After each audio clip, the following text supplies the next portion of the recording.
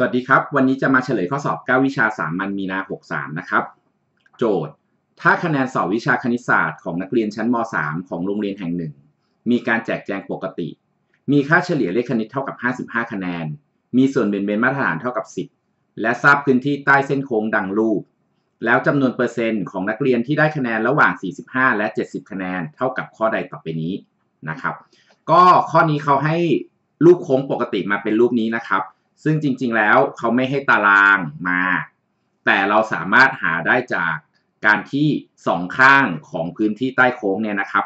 มันสมดุลกันมัน balance กันนะครับเพราะฉะนั้นตรงนี้เนี่ยพี่แบงค์จะมาลองคำนวณตัวพวกค่า z ออกมานะครับ ปกติค่า z นะครับ สูตรของค่า z หาไงนะครับ ค่า z มีค่าเท่ากับ xi ลบมิวส่วนซิกมานะครับ ก็คือค่าเฉลี่ยส่วนด้วย ส่วนเบนเบนมาตรฐาน ซึ่งตอนนี้นะครับสิ่งที่เกิดขึ้นอยู่ก็คือเราดูว่าค่าเฉลี่ยเลขคณิตคือ 55 แล้วก็ค่าส่วนเบนเบนมาตรฐานเท่ากับ 10 นะครับ เพราะฉะนั้นตรงแกนกลางนะครับ ค่า z ต้องมีค่าเป็น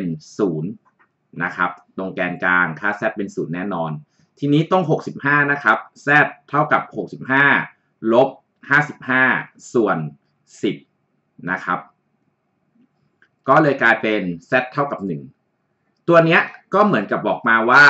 ถ้า z ตั้งแต่ 0 ถึง 1 นะครับ จะมีพื้นที่เท่ากับ 0.3413 นั่นเอง นี่คือสิ่งที่เขาตั้งใจจะสื่อสารกับเรา ถัดมาตรง 40 ก็บอกว่า 40 ลบ 55 นะครับ หารด้วย 10 ตัวนี้ออกมาได้ลบ 1.5 นะครับ แต่ลบ 1.5 เรารู้ว่าพื้นที่ฝั่งนี้คือ 0.0668 แต่เรารู้ว่าพื้นที่ทั้งฝั่งเนี่ยคือ 0.5 ดังนั้นพี่แบงค์สามารถหาพื้นที่ area ตรงนี้ได้ใช่ไหมครับ ก็เอา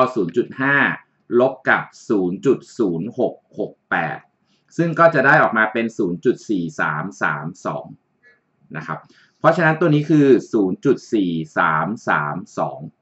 แล้วเราก็รู้ว่าค่า z ตัวนี้คือลบ1.5 ถ้าเรารู้ว่าสองข้างมันต้องเท่ากันนะครับ เราก็เลยบอกได้ว่า ดังนั้นค่า z ตั้งแต่ 0 ถึง 1.5 จะมีพื้นที่เท่ากับ 0.4332 นะครับ อันนี้คือสิ่งที่เขาตั้งใจจะกำหนดมาให้เรา ทีนี้กลับมาที่คำถามนะครับ เขาถามหาในช่วงจำนวนเปอร์เซ็นต์ที่ได้คะแนนระหว่าง 45 และ 70 ถ้าพี่แบงค์มาวาดรูปแล้วลองทำใหม่ดูนะครับ ก็ ตัวนี้คือค่า 55 นะครับ ก็คือค่าเฉลี่ยเลขคณิต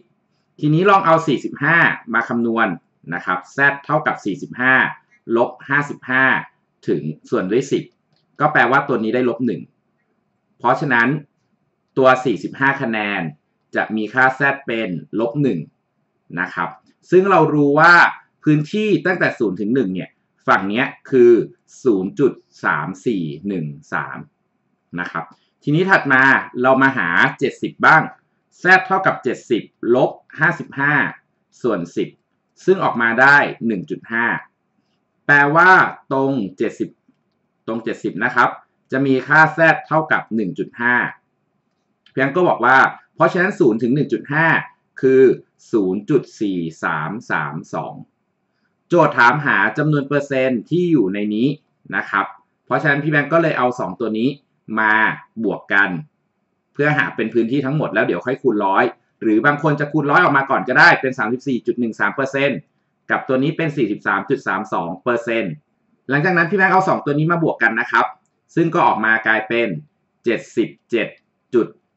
77.45นะครับ เพราะฉะนั้นในข้อนี้